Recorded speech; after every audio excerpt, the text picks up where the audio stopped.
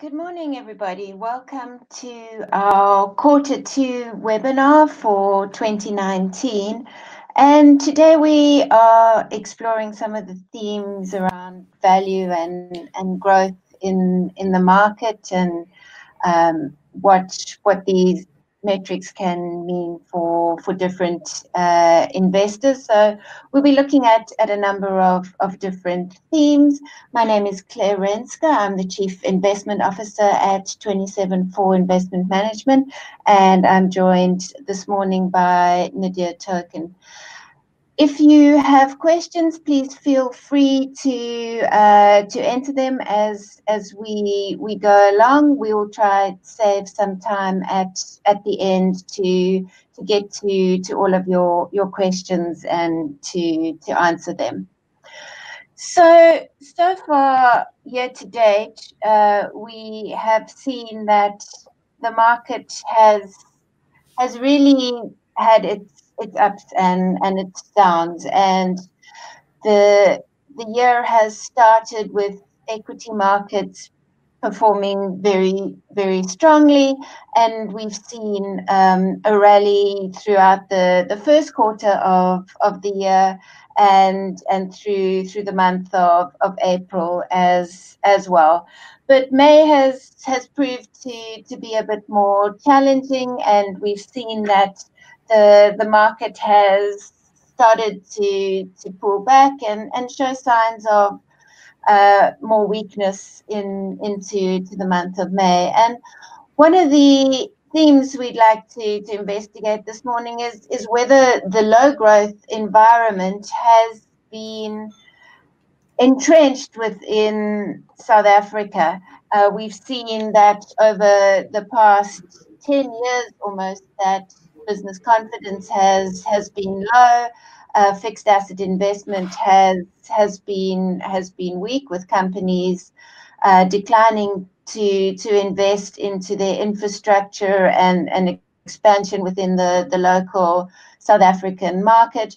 We've also seen that the the consumer has has come under considerable pressure, and to a large extent, we we haven't really seen those those pressures on on the consumer play out uh, as as much as one would have expected.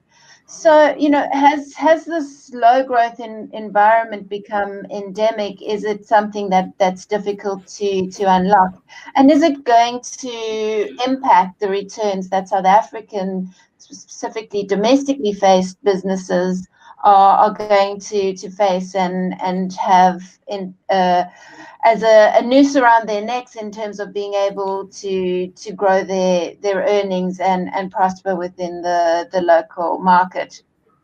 And we've seen a mixed bag of of results. Um, that there have been many companies that that have had had pressure and and have come under considerable, especially the, the consumer facing businesses have come under considerable pressure with regards to what they're able to, to deliver in terms of, of top line earnings and, and specifically earnings growth.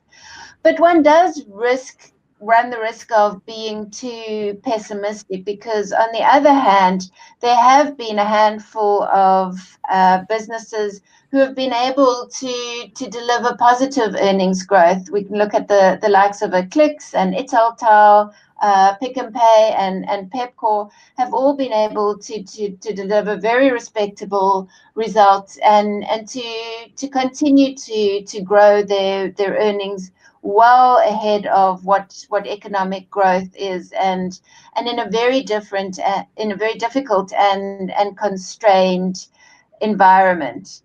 Um, so you know there there are there are definitely risks to to South African facing you know domestic businesses um, and and to to the South African consumer and and the our macroeconomic performance and and the the state of of the fiscus means that although there there are companies that that are doing well there, there are also heightened risks that that uh, remain. And and really the the asset classes that, that will be negatively impacted by the inability of the, the South African economy to, to grow are going to be the, the domestically facing South African equity as well as um, South African nominal bonds. Um, none of the the issues and, and the risks that the, the country faced in terms of, of their their uh, positioning and, and in terms of the inability to, to grow have, have been removed. Eskom and, and the state owned enterprises are still a huge overhang on, on the fiscus and, and our inability to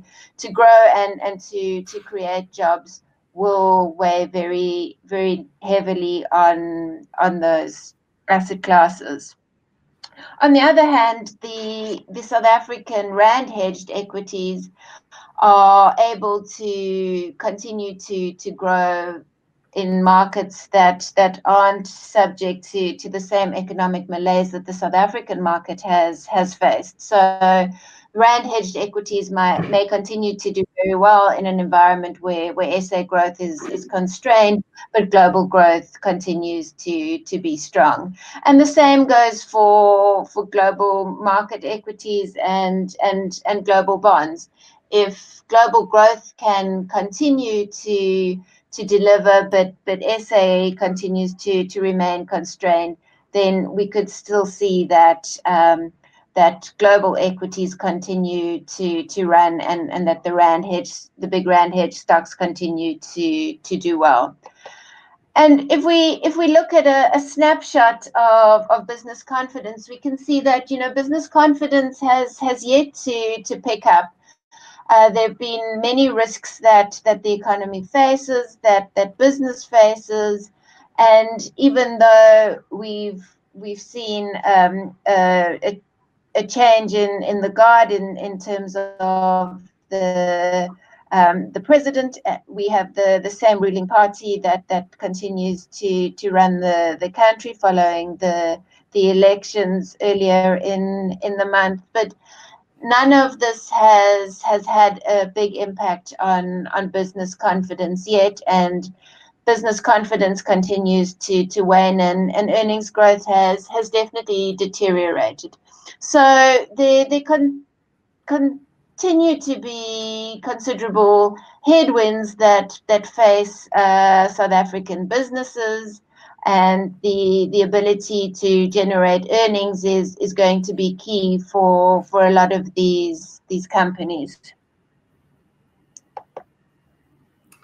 Hi, everybody. It's uh, Nadir here. I'll, I'll, pick up on the next theme. Um, so, Claire's already touched on the fact that equity markets have re rated very strongly uh, into the start of 2019. Um, we've given some of that back in May, but by the end of April, we were up well into the double digits. In fact, around 13% for the all share index year to date by the end of April. Um, and there's a lot of questioning around the market whether, uh, you know, the kind of re rating we've seen has been too strong given the very uncertain environment within which we're operating. Uh, Claire's already mentioned the low growth environments in SA becoming entrenched and the impact that that has had on companies' ability to grow earnings. And we saw further further manifestation of that yesterday with the release of Pioneer Foods results, where uh, they actually had fairly credible top line growth in terms of growing volumes, but an inability to pass on significantly increased costs meant that uh, margins contracted quite a bit, earnings went backwards, and the share was absolutely obliterated down around 12% in trade yesterday. So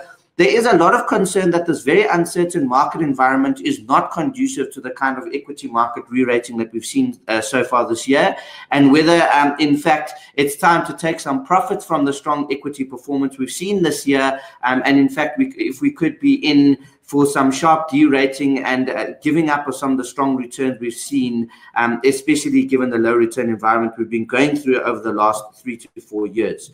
Um, so what we've charted over here is that we've basically charted um, where the forward multiple of the JSE was at the start of the year, where we are currently, and then where the five and 10 year average is uh, uh, historically uh, going back. What you'll notice from this chart is that yes, there has definitely been a re-rating in equities thus far um, in 2019, but that re-rating in equities has not even gotten us to the long-term average forward multiple for equity market for the JSE. So if you think about it from the perspective of at the start of 2019, after a brutal 2018, uh, sorry, after a brutal 2018, that's correct. Uh, you know, we saw equity markets trading at quite a big discount relative to their long-term average, and the re-rating we've seen thus far, um, there hasn't been much earnings-led growth. Given the kind of earnings update we've seen, yes, there's been pockets of very good earnings updates, but in composite earnings have been fairly sanguine thus far in 2019. But the re-rating we've seen has ultimately just taken multiples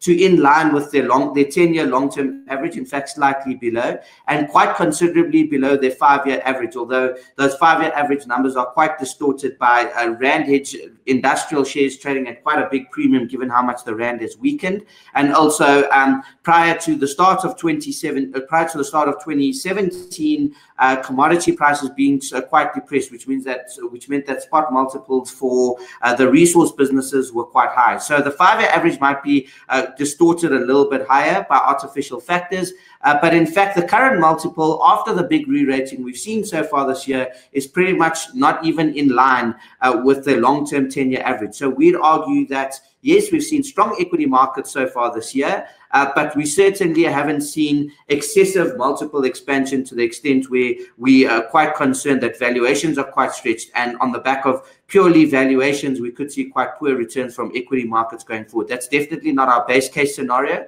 And we certainly believe that there remains uh, some opportunity entrenched within equity markets. Um, if we move the discussion onto what has been the source of this re-rating of the domestic equity markets, uh, typically one of the factors we look out for is how have foreigners been participating in our markets and how have we performed uh, relative to other emerging markets uh, ar- around the world. Um, and if you look at this chart, we the, South Africa is the dark brown line. What you'll notice is that we have not re-rated considerably more than other emerging markets around the world, and in fact, we remain quite a distance behind um, how well uh, uh, uh China as China as well as uh, Russia has done year to date. Um, and in fact, we've seen substantial outflows from our equity market, uh, foreign outflows from our equity market this year, in the tune of 30 billion rand. And what this chart ultimately tells us is that the re-rating and the multiple that we've seen so far this year has not necessarily been driven by foreign investors being big buyers of South African equities. And we know that that would concern us if the re-rating was driven by foreign investors. We know that foreign capital remains exceptionally fickle. Um, it comes in when sentiment is good and it flocks out when sentiment turns bad, irrespective of underlying company fundamentals. Uh, so it hasn't been that kind of very hot capital which has re-rated our market. So, um, you know, what we take away from this is that we're not necessarily susceptible to significant derating on the back of a on the back of hot foreign capital which came into our market exiting quite rapidly and we think that uh, that's a far more sustainable gain for the JSE and in fact it's been predominantly local institutions uh, which have been closing their underweight position within South African equities, which have uh, driven uh, driven those multiples more in line with averages from a big discount at the start of the year. If we move on the discussion to, uh, you know, are there are, are, there actually any opportunities which exist within the equity markets? Uh, you know, we've spoken about the very tough operating environment. We've spoken about the fact that domestic businesses are finding it very finding it very difficult to to grow their earnings and maintain their margins. Um, you know, we argue that there still is a fair amount of opportunity available on the domestic equity market, um, and one of those opportunities we'd argue continue to remain in the resource sector, although it's fairly late cycle.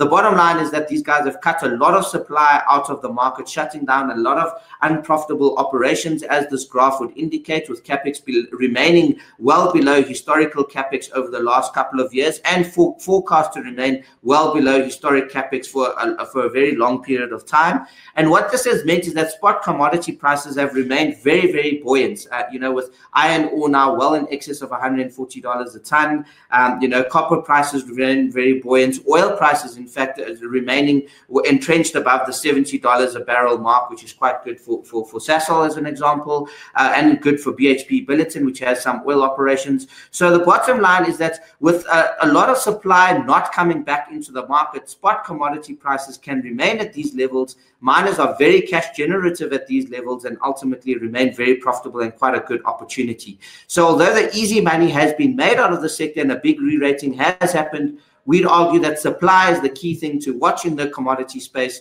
Um, and as long as supply remains quite depressed, uh, we could see these uh, buoyant prices and perhaps a further extension happen for some time, although it is quite late cycle.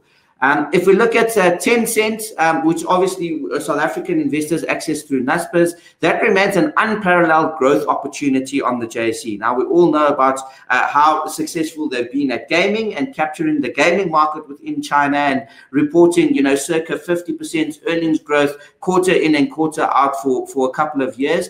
But, you know, the next avenue of growth for this company undoubtedly remains the industrial internet. And uh, we've seen how successful Microsoft has been in terms of penetration penetrating this market within the US and the rest of the world. Uh, Tencent is exactly trying to capture that exact market within China, with cloud compute spending definitely on the rise. Uh, market share is quite low in terms of uh, cloud computing uh, in, in, in China relative to the rest of the world. So it's a strong avenue for growth which uh, you know Tencent can continue to capture, and ultimately Naspers shareholders uh, can continue to benefit from even after the unbundling of all offshore businesses into the Euronext listing, because Naspers is still ultimately uh, retaining a 75% shareholding uh, within that business, and it's still and it's very much the same story to play out in the enterprise software space as well, with penetration rates quite low in China and and and, and Tencent investing quite substantially into gaining uh, increasing market share from this. So undoubtedly, Alibaba is still remains the leader in the industrial internet space in China,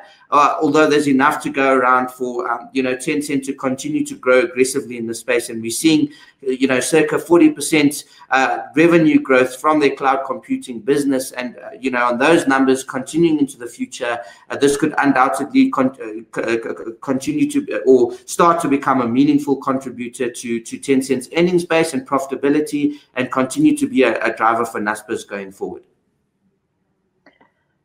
So Nadir touched on briefly the the fact that you know South Africa continues to be a small market perched at at the end of of the the continent and very much at the mercy of of what happens in terms of global risk appetite. And the rand as an emerging market currency continues to be one that is incredibly liquid and trades a huge amount on on a, a daily basis and as much as there there is more awareness around the individual themes that, that plague each and every emerging market. In a global risk off or, or risk on trade, all emerging markets tend to to move and, and are, are highly correlated. So with, with the currency which which is is liquid and, and continues to to act as, as a proxy and, and a measure for, for global risk appetite, our our economy and, and our market are, are at the, the mercy of, of what happens on, on a global scale. So despite the uh, what what local businesses may may be doing or, or what the, the local fundamentals look like, what is really driving a lot of volatility, specifically in, in the market, is, is driven more on a, a global scale.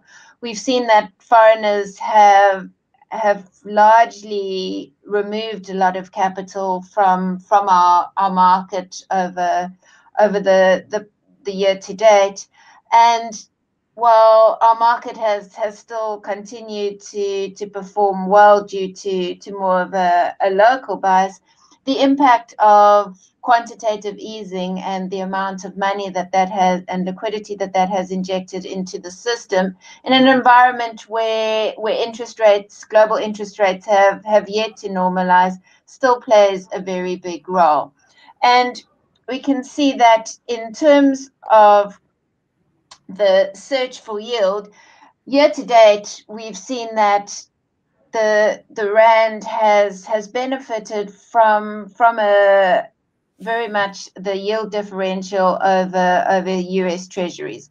So when there is a wall of money that's that's looking to to generate yield, emerging market currencies have been beneficiaries of of that um, as as money has has flowed into into those economies in in search and, and markets in search of of the yield. So what we can see here is on the the x axis the the yield differential to to the the US dollar and you can see that that our, our interest rates in in SA are still very much ahead of of global rates and along the y-axis is the, the year-to-date performance of, of the, the currency.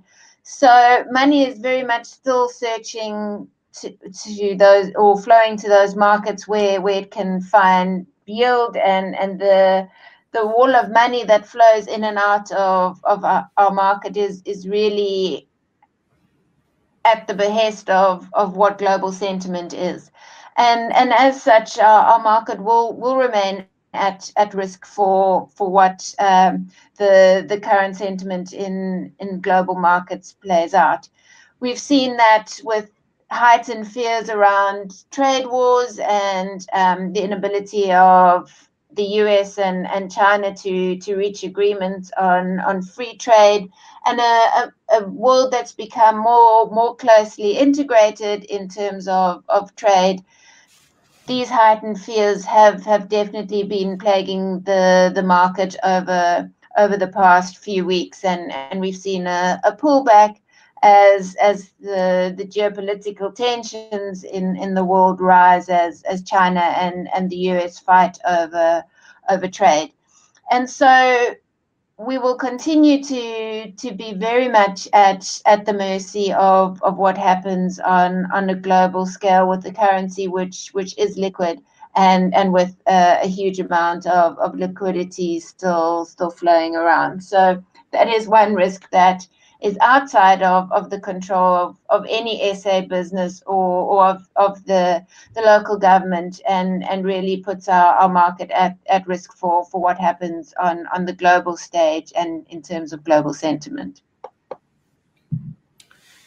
So one of the other themes that we're seeing running quite strongly through the domestic market is that with a strong sell-off we've seen in listed property domestically, led by the resilient group of companies, but really spreading um, to the rest of the sector. There's a lot of questions which have been raised about whether there's potentially value being offered within the domestic listed property market, and this is a debate which we've had very robustly internally um, as to whether there's any value which is now present in the listed property market. It remained the darling of at the market for a very long period of time prior to the big sell-off that we saw uh, probably starting at the back end of 2017 coming into 2018 um, and you know up until that point it had outperformed the majority of asset classes including uh, offshore asset classes despite a vociferously weakening rand um, and uh, you know, we've seen this very sharp sell-off subsequent to that point. We've seen uh, forward yields rising uh, quite substantially, and in fact, in excess of uh,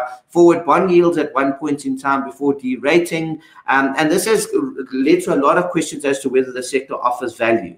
Um, ultimately, our view on this is that um, we are hanging on tight for now. We're not allocating any additional capital um, to, to South African listed property. And the reason for that is that our view is that um, the derating has happened at the exact time that the quality of the sector has been significantly impaired. Um, there's a number of concerns around um, Edcon and the fact that Edcon is 7% of the listed property sector's uh, earnings. Um, and with a deal being extended to Edcon in terms of uh, capital injections um, and potentially just delaying the inevitable, uh, you know, when Edcon uh, for the for the future in terms of whether Edcon is a sustainable and ongoing business um, and the moral hazard that that has created amongst uh, other retail operators, which have also been impacted by declining trading densities across the country. Uh, we believe that that's going to materially impact distribution growth going forward.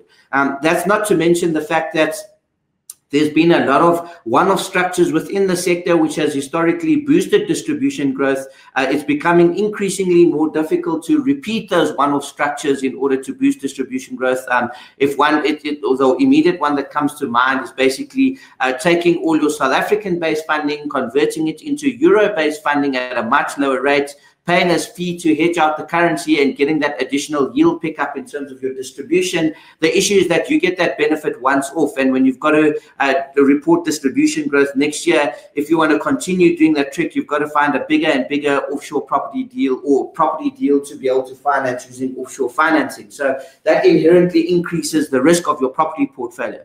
So I think the bottom line is that quality has deteriorated in the sector. Valuations have derated to um, to to kind of reflect that deteriorating quality. Um, and for now, to us, that still remains, uh, you know, an overarching concern before we can increase uh, any exposure to the sector. And I think that this graph just highlights that point quite nicely. Um, the brown line is basically how the SAPY yield compares to the 10-year bond yield. So whenever we see that line increasing, uh, the SAPY yield is uh, starting to increase relative to the 10-year bond yield. And whenever that line is decreasing, the vice versa is happening. Um, and if we look at the, the green line, it's basically just a, a, composite of 10 domestic South African stocks, excluding uh, the resilient group of companies and some of the offshore names, um, and how those yields compare on a, on, on, on a forward basis relative to the 10 year government bond yield. What you'll notice is that valuations within the listed property sector uh, are, are pretty much as attractive as there's been since the global financial crisis or since the troughs of the global financial crisis um, just over 10 years ago. Um, the, the, yields are looking attractive relative to the bond markets. But if you look at uh, the, the distribution growth, which is measured on the right hand axis, uh, distribution growth outlook is the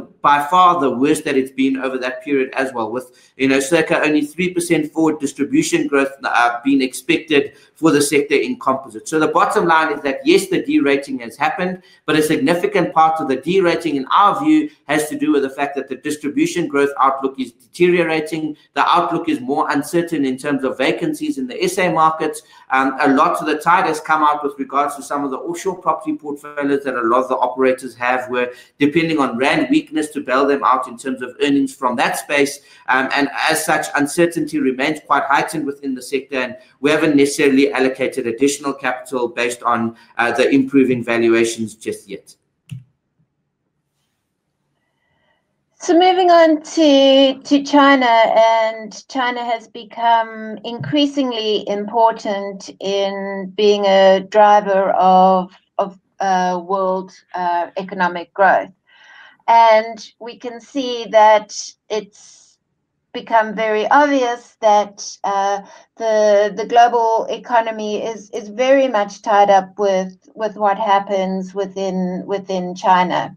Uh, we saw the last GDP print out of China slightly lower than than expected, so coming in at um, oh sorry slightly ahead of of expectations. So, so coming in at, at 6.4 when it was expected to, to be 6.3. Um, but the, the Chinese authorities are being required to to be ever more vigilant and and uh, involved in ensuring that that growth continues along the the expected path. The play has been that China is is switching from from an industrial uh, led growth economy to to more consumer orientated economy, but that path has has been fairly uh, volatile, and and the ability of them to to transition smoothly has has come under under question. Um, and and what we saw was that the government has has actually been forced to to step in and to to come up with a, a, tax cut package in, in order to, to stimulate the, the economy and, and to, to keep growth along the, the expected um, line that um, that the, the world has has come to to really de- depend on and you know south africa is is not immune to to depending on on chinese growth either as as Chinese growth is is robust and and continues uh, along a, a, good path. Commodity prices are, are shown up, which is is good for for our local economy and and for our, our local market. And as, as long as China continues to, to grow, then the expectation is that world growth will will continue along the the same path, and and that China is is very much um, one of the the engines driving uh, world growth. So in an environment where, where Chinese growth is, is strong and, and continues, it's very positive for for our our market and um, it it results in more of a, a risk off trade where uh, money flows into emerging markets and and uh, the resource shares and, and commodity shares are are kept uh, are kept buoyant.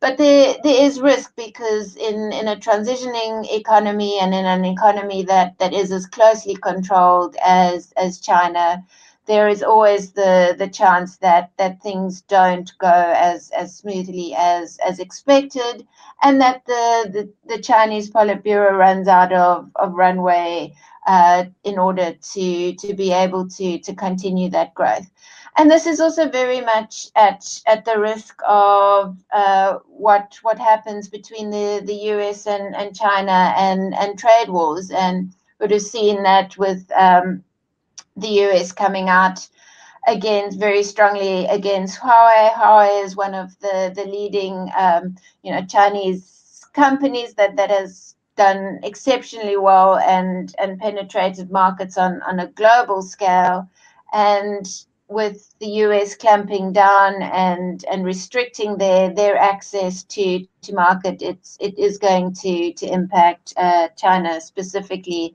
and and the way in which they they migrate to to more of a consumer led uh, economy. In this graph from from the FT, you can see that you know since uh, 2014 really as China has has slowed down from the phenomenal growth rates we we saw many years back from from you know in excess of, of 10% down to to closer to to 6% that retail sales have have declined and and so has industrial production but government has has really stepped in to to shore up that that industrial production and um, it's it's gone since 2000, 2016 it it's gone sideways.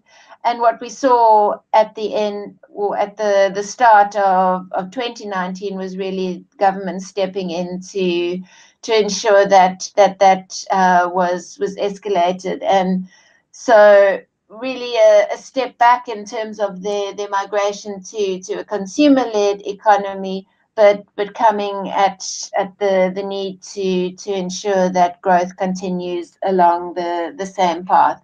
And and really you know we we cannot know what happens in inside of china fully it is still very much a, a controlled economy and the data that that comes out can is is incredibly questionable. But you know the the tools that that the Chinese government has has in at its disposal uh, are really geared up to to continuing that that industrial production, and it, it has proved a lot more more difficult for for them to to migrate smoothly to to the so-called consumer-led economy as um, much much harder than than they would have liked. Moving on to the final theme that we'll be touching on today, um, we've seen it's it's ultimately you know, concern regarding global equity markets and the need for very robust earnings growth to warrant the kind of multiples that we've seen. Um, so if we if we look at how global equity markets have prefer, performed over the year-to-date period, um, there's obviously been exceptionally strong prior to uh, the beginning of May when the return of trade wars has actually come back and, and, and resulted in sharp risk-off sentiment and risk assets coming under pressure. But prior to that point, we saw um, US equity markets in particular sprinting out the blocks, having their strongest start to a year in three decades. Um, and that's ultimately resulted once again in multiples expanding. Um, this has placed some significant pressure on US corporates in order to deliver the goods in terms of earnings and generate strong earnings growth um, in order to warrant the multiples that these companies trade on. And in terms of how they've delivered on that mandate from the from the release of the first quarter earnings numbers, it's very much been a mixed bag. Um, I think there's been enough um, evidence of a robust US economy um, in order to keep uh, equity investors uh, invested and not too fearful outside of uh, flaring up of geopolitical tensions. Uh, but ultimately, the pressure remains on to continuously deliver the sustainable earnings growth um, and, and, and, and continue this um, into the foreseeable future so that these, these markets and companies can grow into their forward multiples. Um, there's obviously some sectors which are showing signs of a more robust economy than others, and the banking sector in the US, for example, showed net interest margins expanding and expectations of ongoing expansion of net interest margins, although this time they'll require loan growth in order for that to happen instead of um, just uh, the Fed increasing interest rates because the Fed has taken a backseat in terms of the expectation for interest rates. Um, and it, it, in general, we see tech shares which are trading on very rich valuations. Um, some of those shares coming under pressure on the back of releasing the earnings results. One thinks of Alphabet, which came under sustained pressure after they resulted slower than expected um, gains in their in their advertising business. But in composite, US companies grew earnings by around about two and a half percent, or just below two and a half percent for the first quarter. In a quarter where um, markets were expecting to see the first earnings growth decline um, in pretty much three years since the second quarter of 2016. Uh, that proved not to be the case. And um, it seems that companies are doing a very good job of maintaining their margins at very high levels. The market expected uh, margins to come under some pressure. That didn't happen as technological gains and automation has resulted in offsetting any increase in labor costs as a result of uh, wage inflation within the US in particular. And as a result of that, margins have been maintained, although the pressure remains on these uh, global equities to continue to deliver the goods with regards to earnings growth because multiples remain exceptionally elevated. Um, and in order to warrant those multiples, we need to see um, ongoing earnings growth. If we look at this picture, this is basically a ranking of earnings, valuation, performance, and volatility by, by, by deciles. Uh, so basically, um, if we look at the earnings number as an example, uh, uh, essentially the current that's earnings upgrades versus earnings downgrades that we're seeing. And the higher that bar, basically, the more earnings upgrades we're seeing relative to earnings downgrades compared to history. So we're seeing that the earnings upgrades relative to downgrades are at fairly depressed levels relative to the historic average. So we're not seeing many earnings upgrades. Um, the valuations are in stretched territory. So basically, the higher that percentile, the higher current valuations are relative to their history. Performance is basically just a, a measure of the last three months' performance on the MSCI World Index. And we see obviously that the first quarter of the year was exceptionally strong. So that performance measure is very high. Um, and volatility is, as you can imagine, the higher the volatility quintile, uh, basically uh, the, the, the, the higher that the volatility we're experiencing. So volatility in the current environment are very low. So if you look at this picture and if you're going to summarize it, basically we're not seeing a lot of earnings upgrades. Valuations are quite stretched relative to history. Performance has been very good relative to history, which has resulted in valuations being quite stretched, and volatility is quite low. And this was quite a key factor coming into the start of the year. Despite the fact that there's a lot of political risk on the horizon, um, markets became exceptionally sanguine about these risk impacting markets, and we saw it being one-way traffic upwards. We've seen that that's not the case with the trade wars coming back to bite and global markets selling off excessively on the back of, uh, you know, the trade war coming back to bite through the course of May. So political risk remains abound, and ultimately that needs to be priced into asset prices what we've done over here is that there's obviously been a lot of noise made around tech and you know the successful tech companies being google microsoft apple uh, facebook even though that are, that are highly profitable. Uh, but there's been a number of unicorns which have come to the market. So-called tech companies with a valuation of in excess of a billion dollars.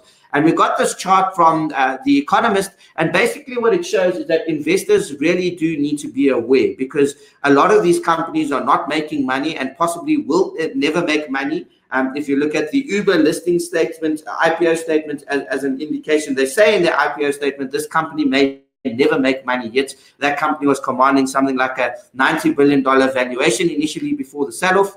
ultimately the grouping of these 40 a grouping of 47 tech unicorn companies which have come to market um, in 2018 and coming into market in 2019 ultimately these companies generating um, significant losses uh, over the uh, over the cumulatively around um, eight, 19 billion dollars in losses over the last two years. They generate negative operating margins, and it's quite difficult to see how these companies ever start making money. Yet they're commanding very rich valuations. So it's been the likes of these shares which have been skewing the multiples of the market higher, um, and ultimately we remain quite concerned about such uh, such activities.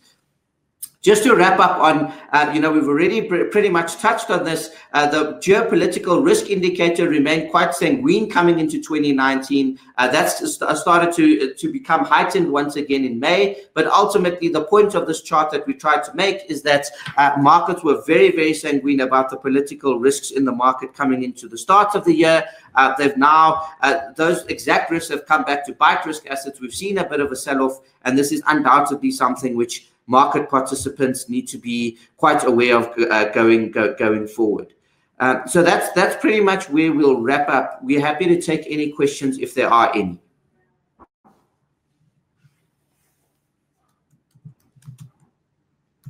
Okay, it appears that we, we, we have no questions. So we're going to let everybody go. Thank you, everybody, for dialing in, and we really appreciate your time.